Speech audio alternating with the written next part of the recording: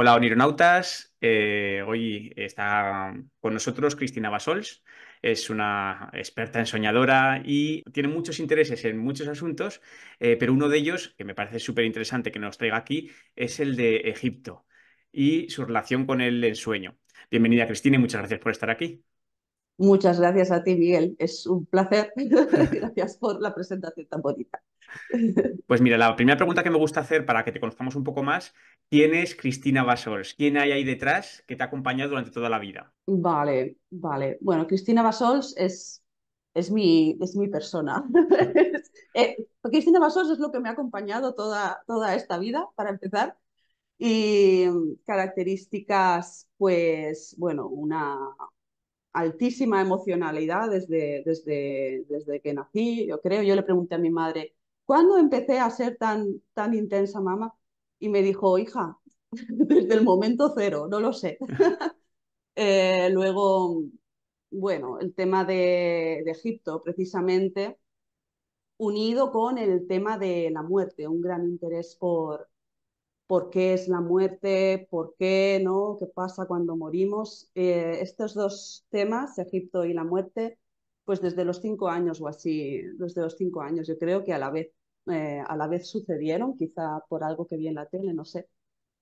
Y, y bueno, básicamente eso. Luego me ha gustado mucho siempre estudiar, ¿no?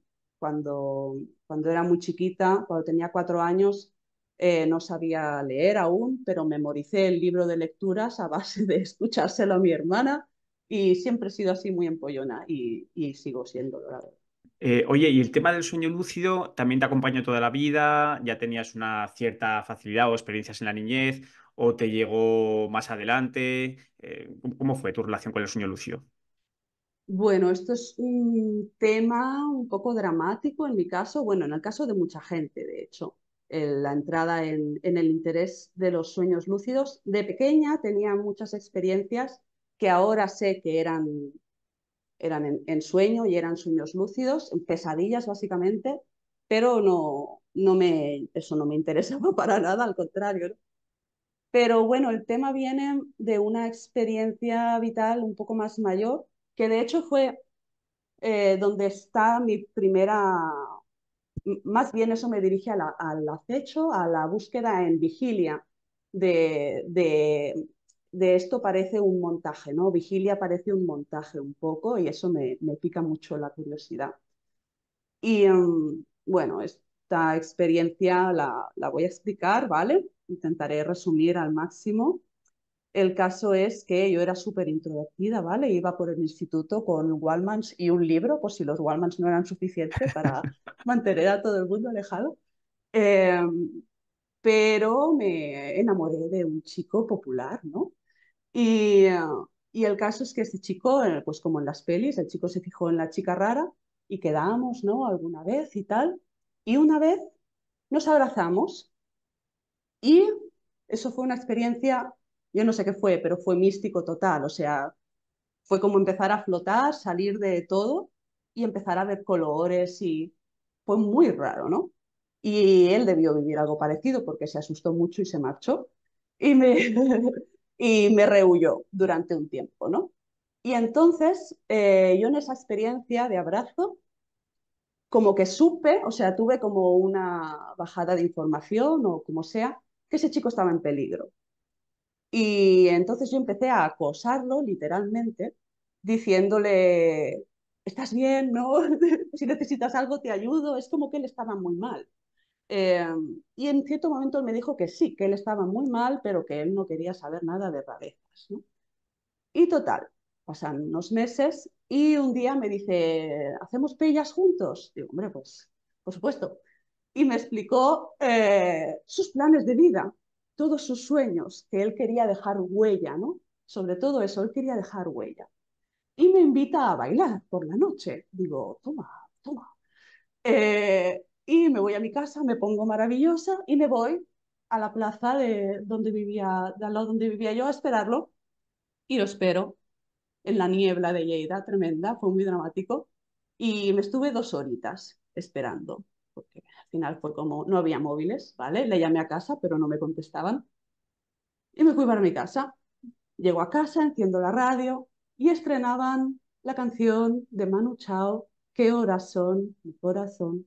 Y yo pensaba, maldita suerte la mía, que es su cantante favorito, y esta canción habla de las horas, cuando llevo dos horas esperándole, ¿no? Yo ahí montando en ira con toda mi intensidad.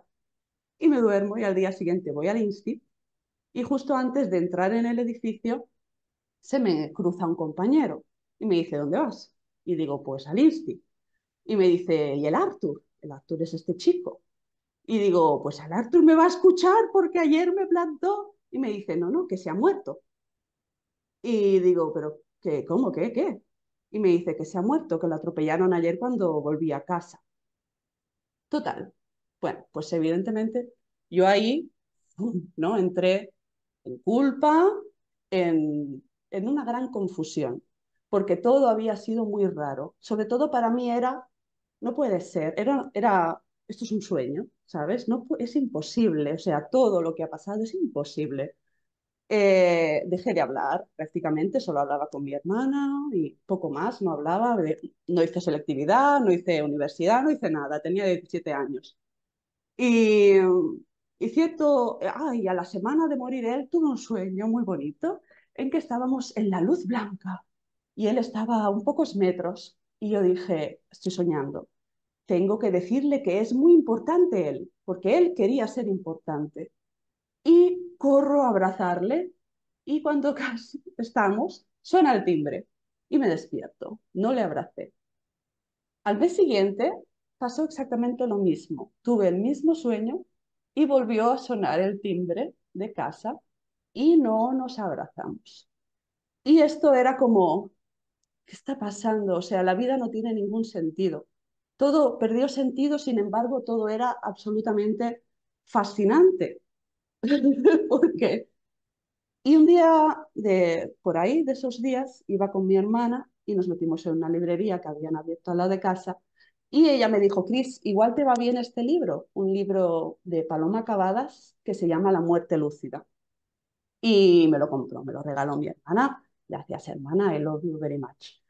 Y, y el libro habla de experiencias fuera del cuerpo para contactar con fallecidos. Así que hice de eso mi, única, mi único motivo de existencia.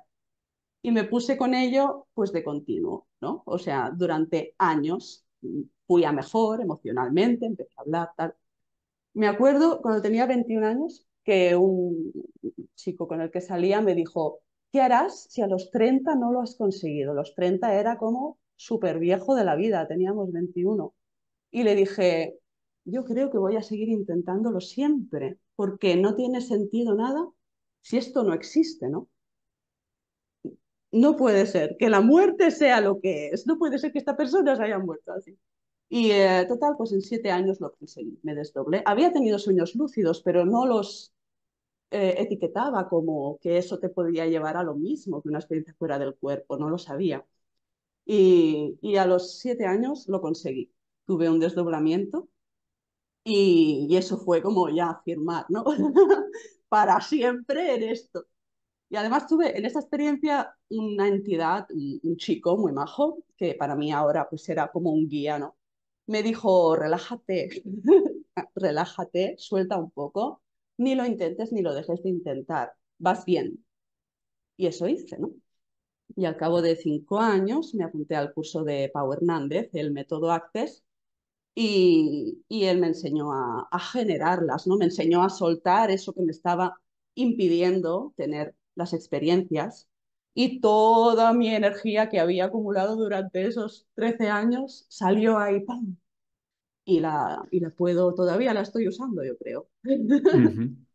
Hablabas de que mm, eh, como que nada tenía lógica que de alguna manera sería como decir, en otras palabras, nada tenía la lógica convencional y tú estabas buscando una lógica distinta que diera sentido a todo eso. Y también has nombrado como por encima el concepto de acecho. Eh, ¿Le entramos un poco ahí al, al, tema? Porque creo que puede estar relacionado. Cuando uno desarrolla su capacidad de acecho, a lo mejor es capaz de ver otras lógicas distintas, otros puntos de vista. ¿Qué es eso del acecho? Bueno, te puedo dar mi visión del tema, porque, porque es un tema súper complejo y yo personalmente no estoy segura de haberlo pillado todavía, o sea, si estuviera aquí don Juan, mm, que me corrija, por favor. Em, para mí el acecho es, el, es todo lo que tiene que ver con la conciencia alterada en... El acecho es búsqueda, es búsqueda absoluta.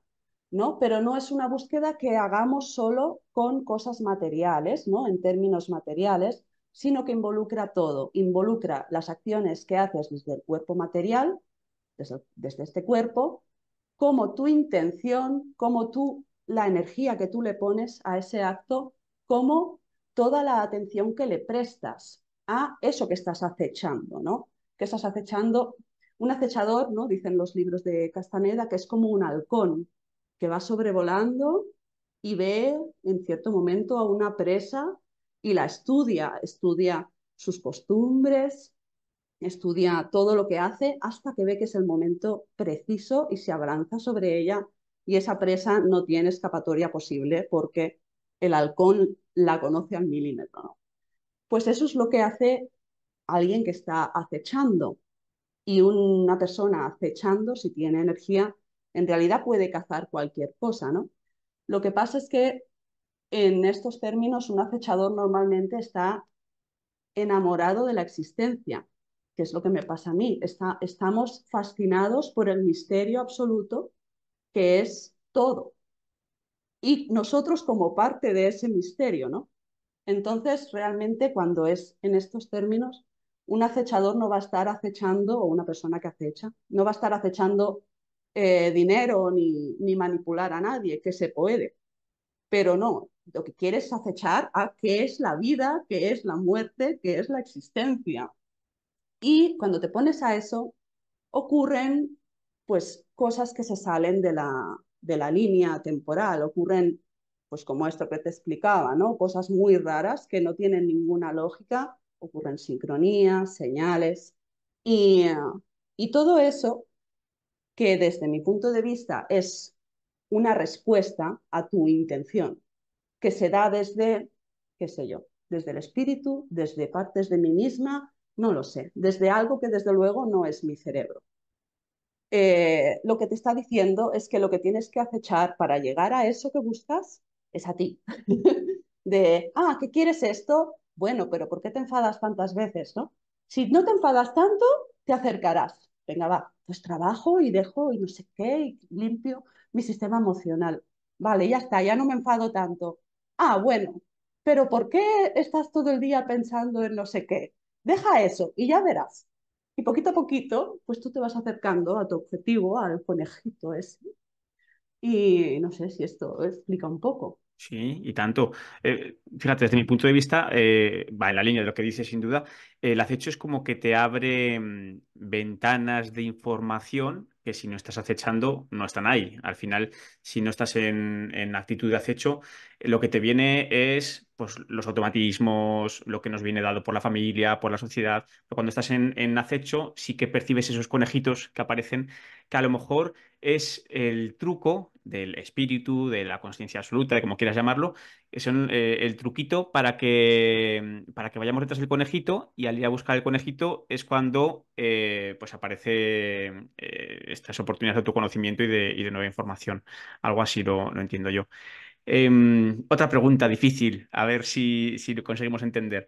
Em, Castaneda, además de hablar del, acecho, habla de, también del intento y del ensueño. Van como eh, los tres conceptos unidos de alguna manera. ¿Qué son para ti esos otros dos y cómo están relacionados? Intento y ensueño. Pregunta. Paso palabra. a ver, a ver, a ver. Intento sería para mí mm, como el modo el modo. Estoy en modo ir a comprar pan. Mi intento es ir a comprar pan. ¿Qué quiere decir? Que me voy a poner la ropa tranquila de los domingos y voy a ir hasta la panadería y voy a comprar pan. ¿Vale? Entonces, ¿qué pasa? Que estoy yendo, estoy en, este, ese es mi intento, es comprar pan. Estoy yendo a la panadería y me encuentro con una amiga y nos ponemos a hablar y nos vamos a tomar un café y cuando acabo el café me voy para casa. Se me ha olvidado mi intento. eh, ¿qué pasa? Que en el camino a casa eh, me cruzo con una señora que lleva pan recién horneado y me viene el olor y digo, ostras, pues si yo iba a comprar pan y me voy a comprar pan. El intento es lo que genera, es tanto mi intención con la ropa, con el camino que he tomado para ir, todo eso es mi intento y gracias a mi intento me encuentro a esa señora al no haber cumplido mi objetivo por la primera vez. El intento sería el modo, modo acecho, modo ensueño, ¿no? ¿Qué estoy intentando? ¿En, qué modo estoy? Eh, como una maquinita. Y el, y, el intento lo incluye todo, incluye todo, es que tienes que mirar todo el escenario, ¿no? ¿Qué más puedo añadir a mi intento? He, he sido exhaustiva con toda mi existencia para conseguir esto que estoy buscando, pues, pues eso, hay que añadirlo todo para que el intento sea lo más fuerte posible. Y el ensueño, es que el ensueño tiene muchas definiciones, ¿no? Se puede entender como experiencia fuera del cuerpo, pero para mí eso se queda súper corto, porque para mí el sueño es el estado alterado de conciencia. Hay veces que estás en vigilia y estás en el sueño. Eh, según cuántas sincronías ocurran a la vez o lo fuertes que sean, es que te saca totalmente ya de, vigilia incluso, aunque el escenario sea eh, mm, físico. Pero tú ya estás en modo ensueño y en modo ensueño puedes hacer que ocurran ciertas cosas, ¿no? Que, que es como abreviar todavía más el acecho. Y, y como viajes astrales, como sueños lúcidos y experiencias fuera del cuerpo, el ensueño para mí es una opción, es un camino. Simplemente puedes tomar este, puedes tomar cualquier otro, puedes no tomar ninguno. Sin embargo, si nos interesa el autoconocimiento y la evolución interna, yo creo que todos pasamos por el ensueño. Primero porque, porque la lucidez en vigilia te lleva a la experiencia lúcida cuando duermes. Y segundo, porque la iluminación el camino de la iluminación para mí es el sueño. Fíjate, a mí me gusta mucho Paramahansa Yogananda y él recomienda pasar totalmente de los sueños eh, cuanto a entretenerte ahí, ¿sabes? Incluso si te haces lúcido, te dice, te vas a hacer lúcido, o sea, sí o sí, si haces esto que te digo, te vas a hacer lúcido. No te entretengas, aprovecha eso para meterte más adentro, ¿no? Y tener experiencias místicas. Pero es que las experiencias místicas también son en sueño, porque es un movimiento del, punto de encaje, es un cambio de percepción. Entonces, al final, el sueño es una opción, pero a la vez no tenemos tampoco mucha más salida porque es la propia experiencia mística en todos sus grados, desde estoy volando hasta soy Dios. Oye, ¿hacemos encaje de bolillos? A ver cómo ah, unas cosas con otras. vale, eh, tenemos aquí unos cuantos conceptos del de, marco de, de, Castaneda y eh, te tenemos a ti que sabes mucho de mitología egipcia. A ver cómo engranamos una cosa con otra. Hace poco subiste a, tu canal de, de, YouTube, que dejaré el enlace en la descripción del vídeo, el mito de Osiris y su relación con el camino del guerrero. ¿Te parece que nos cuentes un poco en resumen de qué va eso del mito de Osiris y luego a ver si lo empalmamos de alguna manera con lo de Castaneda? Venga, dale. Venga. A ver, resumir, resumir. El mito de Osiris, es muy difícil resumirlo. Mm, al final, lo que digo en esos vídeos es mi interpretación en gran parte. Esto lo quiero dejar muy claro, ¿eh? que, que no es algo que yo haya extraído de ningún egiptólogo porque, sobre todo, porque para, hasta donde conozco, los egiptólogos en general no deben hacer muchas prácticas espirituales y entonces no buscan la parte práctica, ¿no? Pero yo lo enfoco desde la parte práctica y al leer el mito de Osiris veo clarísimo que eso nos está hablando del camino del guerrero, ¿no? Tenemos a, a un dios, al dios de la vida, ¿no? Que, que su hermano, que es el dios del caos y de todo lo chungo, lo descuartiza ¿no? y, lo, y lo desmiembra y, esparce los, los, pedacitos por todo Egipto, por toda la tierra. Eh, yo aquí lo que veo es eh, la pérdida de trozos del alma, ¿no? de que hablan algunas terapias y caminos, de que, de que nos quedamos desperdigados ¿no? por la tierra, pues por nosotros mismos perdemos trocitos de alma. ¿Por qué? Pues por las fuerzas del caos, por las emociones, por las frustraciones, por el avance de la vida. Y entonces viene Isis, que es esposa de, del desmembrado y hermana de ambos, por cierto, y es maga, ¿no? Isis es super guay, es la superwoman, y como es maga, pues ella consigue recuperar todos esos pedazos y con su magia los reúne.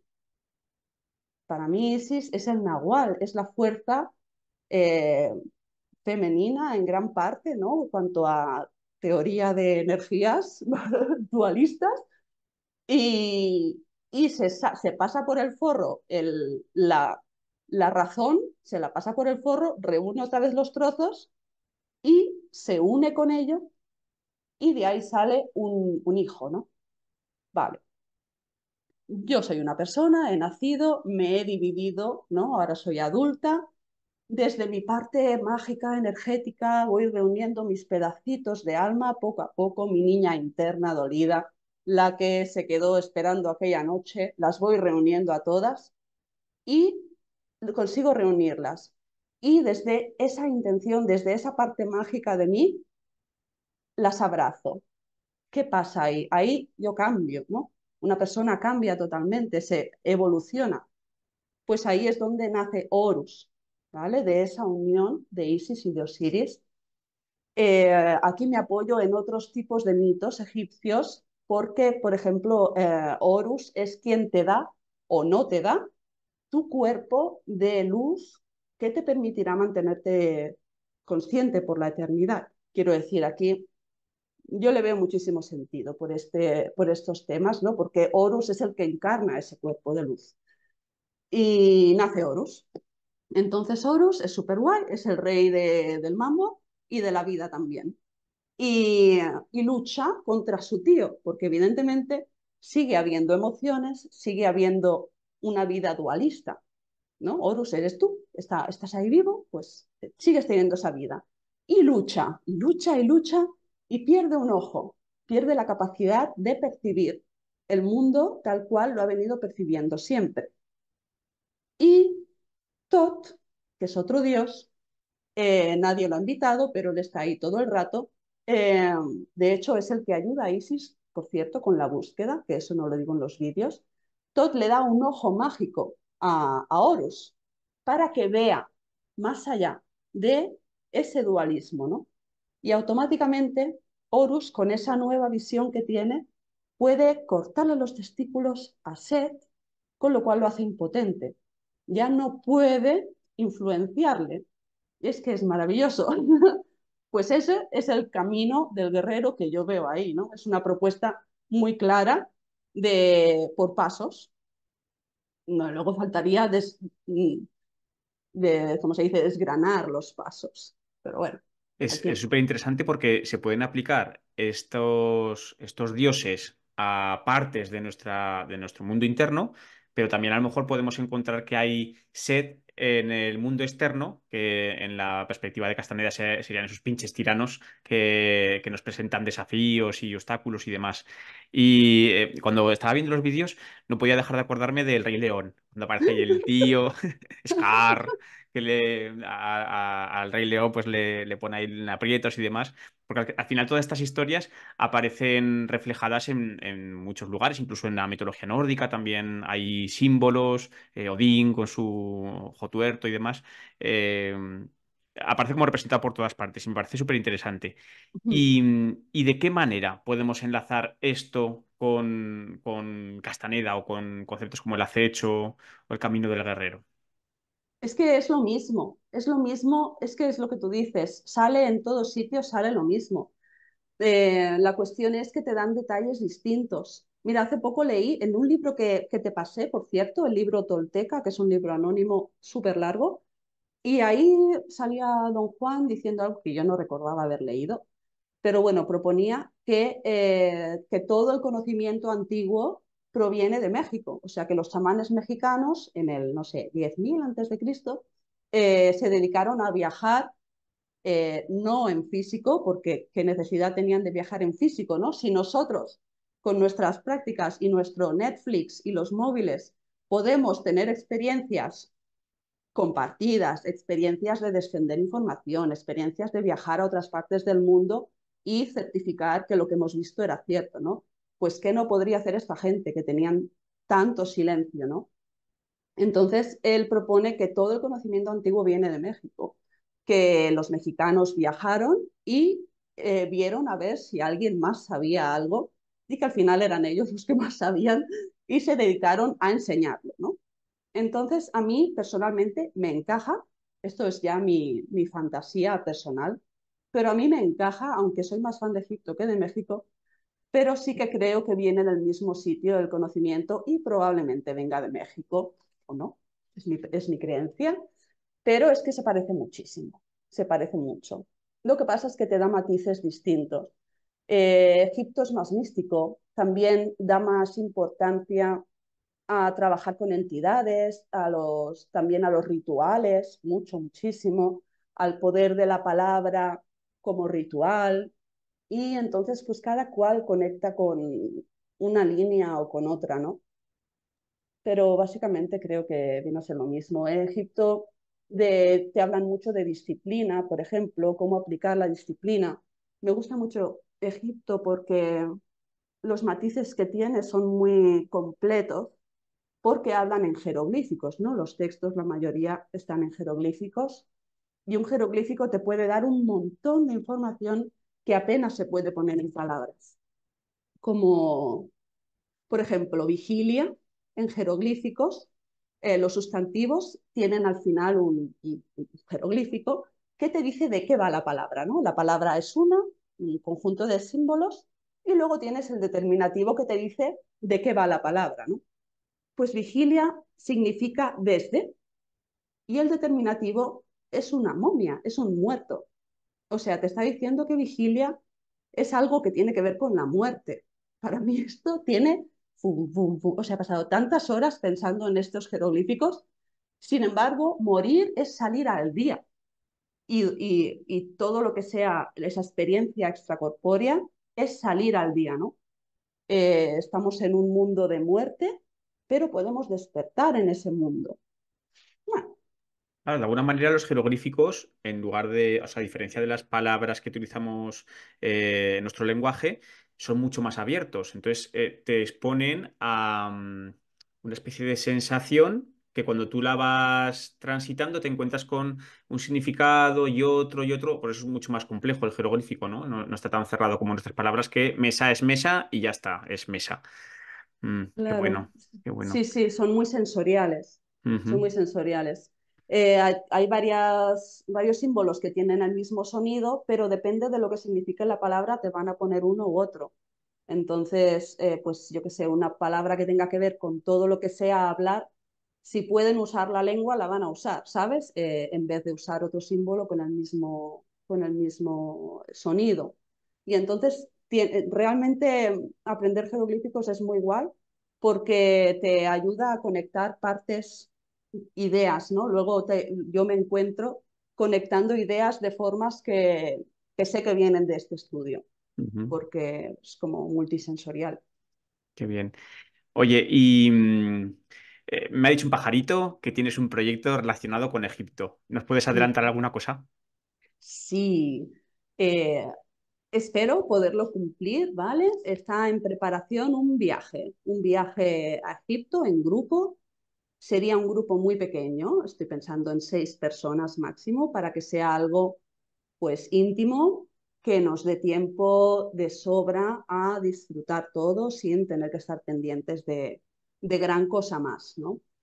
La idea es eh, hacer Cairo y Luxor, ¿vale? Básicamente, y pasar largas horas en cada emplazamiento. Esto para mí es muy importante y para personas con las que he ido hablando a lo largo de los años. Yo he viajado bastantes veces a Egipto y muchas veces me he encontrado con alguien ¿no? que me decía, oh, me encantaría ir, pero en el viaje típico de crucero vas corriendo de un lado al otro, eso no lo quiero, ¿no?